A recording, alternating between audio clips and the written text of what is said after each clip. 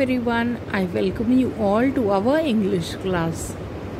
Today we learn about block 11 that is the bazaars of Hyderabad. Now, in this poem by Sarojini Naidu, she has described the bazaar of Hyderabad, which is just like any other bazaar, which is filled with colorful things.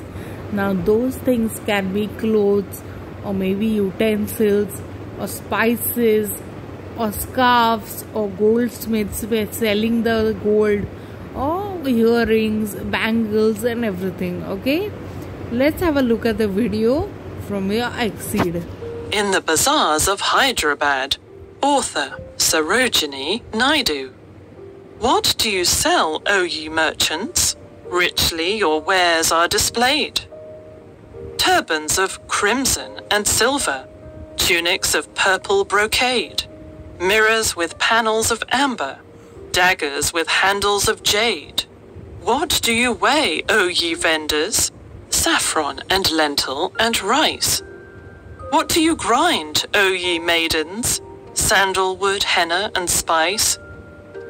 What do you call, O ye peddlers? Chessmen and ivory dice. What do you make, O ye goldsmiths? Wristlet and anklet and ring, bells for the feet of blue pigeons, frail as a dragonfly's wing.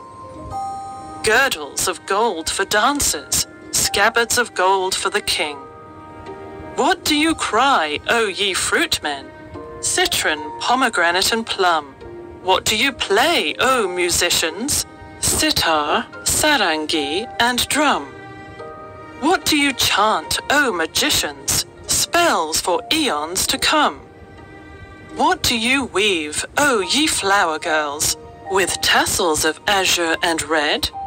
Crowns for the brow of a bridegroom, chaplets to garland his bed. Sheets of white blossoms new garnered to perfume the sleep of the dead.